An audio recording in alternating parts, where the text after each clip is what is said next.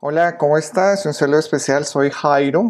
Hoy voy a grabar un video tutorial del Paint Astrucus. Yo creo que va a ser uno de los últimos videos tutoriales que vamos a grabar porque, como te había comentado en el último video que publiqué en este canal, pues ya estoy trabajando en un nuevo, una nueva herramienta de software de astrología, una, una herramienta que está diseñada para trabajar módulos y uno de esos módulos pues es el módulo de astrología, cuyo antecesor es el Paint Astro Bueno, este es un corto video tutorial que lo estoy grabando a raíz de una usuaria de Argentina, Josefina, que me contactó en estos días preguntándome si el software calculaba eh, la carta dracónica.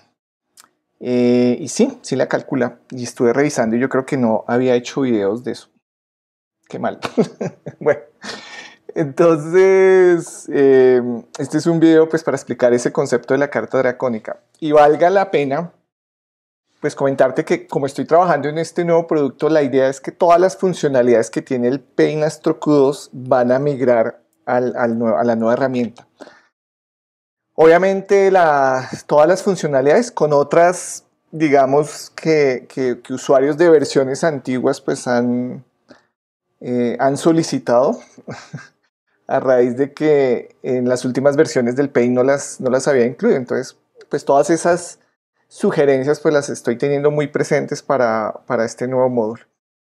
Bueno, entonces vámonos al, al Paint. Aquí ya lo tengo cargado.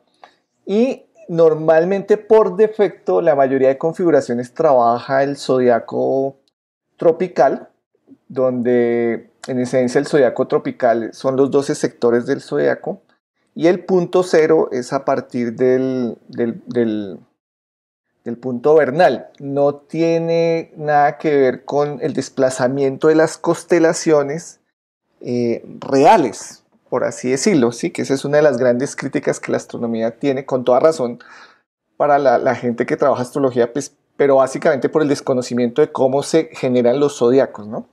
Entonces el zodiaco tropical se genera a partir del punto vernal, 30 grados a partir del punto vernal, es eso, así de sencillo. Em, em, y hay otros zodiacos, por así decirlo. Está el zodiaco dracónico, eh, y ahí viene que es basado o se calcula con respecto a la posición del nodo. Y ahí viene la pregunta, ¿cuál nodo? ¿El nodo medio o el nodo verdadero? Entonces depende de la escuela con la cual lo trabajemos. Ya ahorita te lo vamos a mostrar.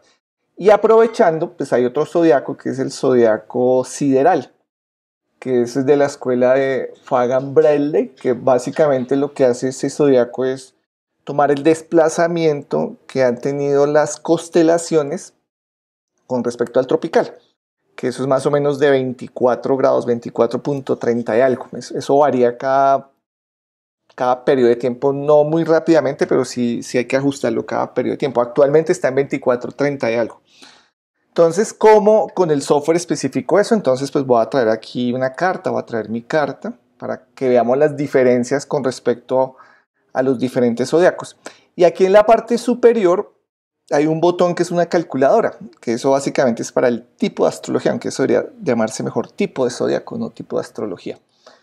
Al oprimirlo te aparece el ajuste del ayananza, que el ayananza viene siendo, digamos, ese valor que determina el, inicio de un zodiaco, por así decirlo. Entonces, por defecto, el raíz, yo puedo trabajar diferentes ayananzas para diferentes tipos de raíz de acuerdo al esquema que yo esté trabajando. Yo en este momento estoy trabajando un único esquema. Entonces, por defecto está el tropical, que es la normal. Eh, o bueno, la que usualmente trabajan la mayoría de personas que usan astrología. Dracónica basada en el nodo medio. Entonces fíjate que cuando yo selecciono dracónica pasa algo interesante y es que la posición del nodo pasa a ser 0 grados. Entonces aquí yo selecciono dracónica nodo medio, entonces el nodo pasa a ser 0 grados y todas las posiciones toman esa diferencia con respecto al nodo de la carta natal y, y se ajustan, ¿sí? Entonces mi nodo está en 344 grados o 14 Pisces, que es este valor que está aquí. Y ese es el valor NASA para el resto de posiciones. O sea, al resto de posiciones, cúspides, planetas, todos los puntos se le suma ese valor. ¿Sí? O se le resta, mentira, se le resta. se le resta ese valor y, por eso la posición del nodo da en cero. Entonces, ¿cuál nodo? El nodo medio. Si trabajo el nodo verdadero, en el caso del nodo verdadero mío está en 343, está en 13 grados algo. Entonces, fíjate que la dracónica en medio y en verdadero, pues tiene unos valores diferentes. Y la sideral, cuando selecciono sideral, el valor es de 2432. Entonces, por eso, en carta sideral, normalmente los ascendentes y las posiciones nos cambian. Yo en ascendente, digamos, sideral sería un escorpio y un sol sagitario. ¿sí? Sería ese como el ejercicio y una luna en Pisces. Yo la verdad no he trabajado mucho eh, dracónica, perdón, no he trabajado cartas con otros, otros, otros, otros sistemas. Eh, dracónica la he estudiado un poquito, que básicamente tiene que ver con la misión del alma. Sideral no la he estudiado, la verdad me imagino que sí hay ciertas correspondencias, ¿no? Entonces, esta es la forma en la cual yo selecciono cartas tropicales, dracónicas, nodo medio, sideral o personal, tú le puedes ajustar la allananza que quieres, negativo o positivo, ¿sí? Entonces, por ejemplo, aquí le voy a poner una allananza de 15, ah, perdón, se pones aquí abajo, aquí son los grados 15, y aquí a la derecha los minutos, por ejemplo, 15.30 vendría siendo 15.5, ¿sí? 15.50.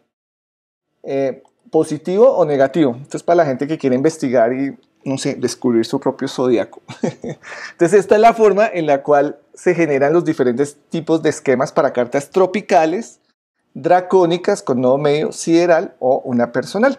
Si yo tengo un esquema doble, por ejemplo, yo puedo seleccionar la carta interna con tropical y la carta R2 con eh, dracónica. Por ejemplo, aquí la R1 la tengo tropical y la R2 la puse dracónica. Entonces, son, son ejercicios interesantes. Yo, la verdad, en alguna ocasión hice ese chequeo y salen cositas interesantes. Bueno, entonces esta es la forma en la cual se trabajan diferentes zodiacos.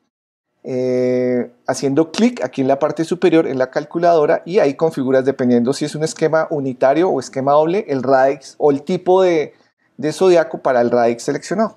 Bueno, espero que esto haya ayudado y nos vemos en los próximos videos tutoriales que muy seguramente van a ser con Astro Acuario. Bye bye, hasta una próxima oportunidad.